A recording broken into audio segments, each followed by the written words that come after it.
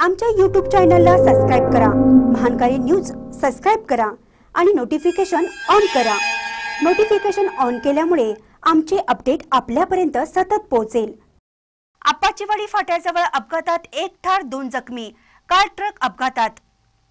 कोगनोळी येथील राष्ट्रीय महामार्ग अप्पाचीवाडी फाट्याजवळ सोमवारी रात्री अकराच्या सुमारास ट्रक आणि कार यांच्यात झालेल्या अपघातात एक ठार तर दोघेजण जखमी झाल्याची घटना घडली.